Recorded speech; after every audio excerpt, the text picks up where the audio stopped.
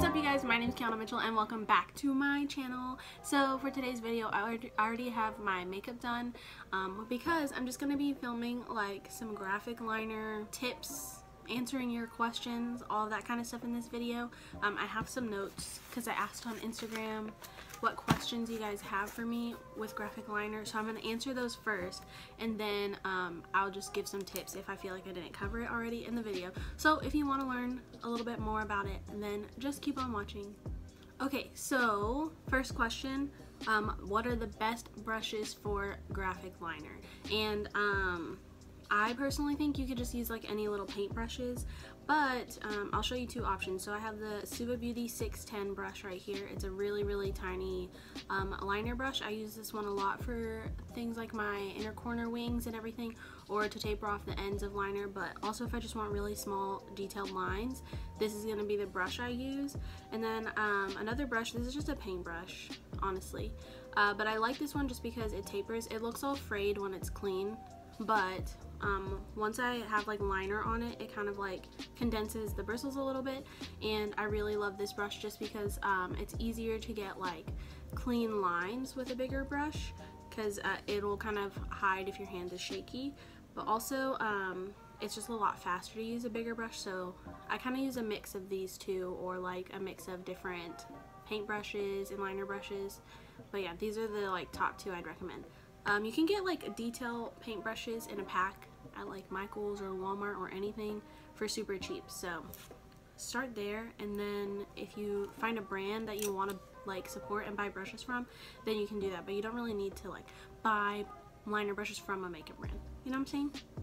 They're all water activated liners anyway. So um, they're like really easy to use with a paintbrush. It's almost like painting. So the next question is how do you keep a steady hand while you are doing liner? Um, so what I like to do, like I have my makeup desk right in front of me and then I'll have a mirror in front. And what I do when I'm doing my liner is I'll rest my elbow on the table so that um, my hand has a little bit more control while I'm doing my liner or I'll rest like the bottom of my hand, like maybe my pinky while I'm holding the brush. Um, and then you just have to be careful that you don't mess up your base. But if you do your liner before, you'll be fine for me, resting my hand on my face doesn't really mess up my makeup anyway, so I'll do that a lot too. And if you want like extra control, do both and you'll be set. Um, I think those are like the most helpful tips for getting a steady hand aside from just practicing. The more you do the liner, the more like you'll have muscle memory and um, your liner will be cleaner and you'll get faster at it. So practice all the time and use like your surroundings to stabilize your hand and your arm. The next question is um, if you don't have like water activated liners, someone asked if you think you could mix like white concealer with eyeshadow to get liner. And um, I totally think you can do that. I used to do that when I didn't have the water activated liners, but I found that it could be like kind of dry and flake off, like it doesn't really last. But what I used to do to get like colorful liner before I had actual colorful liners is I would draw out the liner shapes with um, concealer and then pack the eyeshadows on top and blend them instead of mixing it in with the concealer. Does that make sense? Um, so I'd recommend that instead of like actually mixing the eyeshadow into the liner so you or into the concealer so that you don't get it like extra dry. Um, my eyes water if my liner is too drying or if my eyeshadow is too drying or anything so um, it just kind of helps to do it the other way around. Next question is liner for hooded eyes. Like what how do you do liner if you have like a little crease in your eyes? I don't know if y'all can tell, but I have hooded eyelids. You can see like you can't see it when I have like more detailed looks on or when I take pictures um, I take them at an angle to where like my crease doesn't show as much. But you can definitely see that there's just like a whole crease all the way through right here um, because I have hooded eyelids. So obviously this red line is way above that crease. Um, and that's how you're gonna get like your liner to show even with your eyes open. Whenever you're doing um, graphic liner or eyeshadow or anything for hooded eyelids you want to go above the hood of your lid right there I prefer to use all the space between like my eyelashes and my eyebrow instead of just using like up to that crease. So that's what I'd recommend. Go above the little crease in your eye. Okay how long did it take you to get good at liner. So for me, um, I think like liner came to me a lot faster because I was already doing makeup and doing like detailed looks and drawing on my face and everything like that.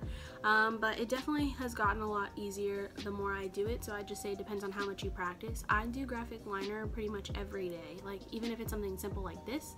So it kind of like keeps me in the habit of being like focused on those little details.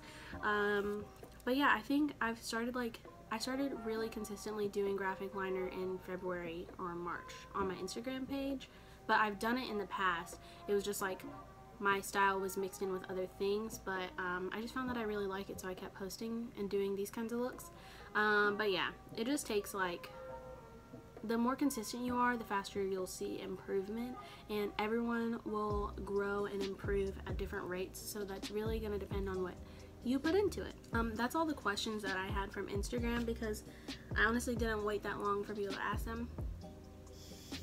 I guess I'll talk about what liners I use. So I have multiple little boxes of liners. So these are the um, Glam Vice Retro liners. I got their pastel set and then they sent me a few of their metallic ones as well. So far I really like these. I've only used them for a couple of looks but uh, I can tell that the consistency is a little different from the Suva Beauty Hydro Liners, which are the ones I used mostly um, before I got these, and the ones from by Mellow. But these Glam Vice liners kind of dry faster than the Suva liner, so I have to like keep putting water in them. But I don't mind that. It's just like you have to remember to re-wet them or else they'll be like a little too thick. The consistency might get too thick for you to apply the liner easily.